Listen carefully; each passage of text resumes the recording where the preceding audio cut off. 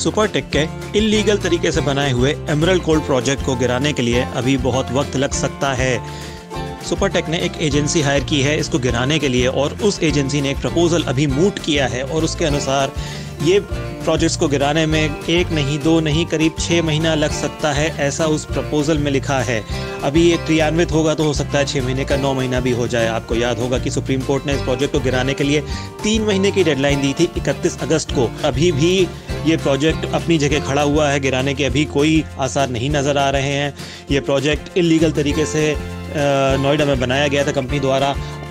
आपको याद होगा कि ये पूरा मैटर इलीगल कंस्ट्रक्शन का गया था इलाहाबाद हाई कोर्ट में 2014 में। 2014 में अलाहाबाद हाई कोर्ट ने इसको गिराने का आदेश दिया था।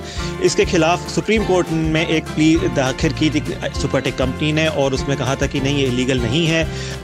सुप्रीम कोर्ट का जजमेंट इस साल आया 31 अगस्त को कि ये तीन महीने के अंदर गिरा देना चाहिए, लेकिन तीन महीने की डेडलाइन तो पार हो चुकी है। अभी कुछ अता पता नहीं है कब गिराया जाएगा। ये देखना होगा कि ये क्या सुप्रीम कोर्ट की अवमानना का केस है।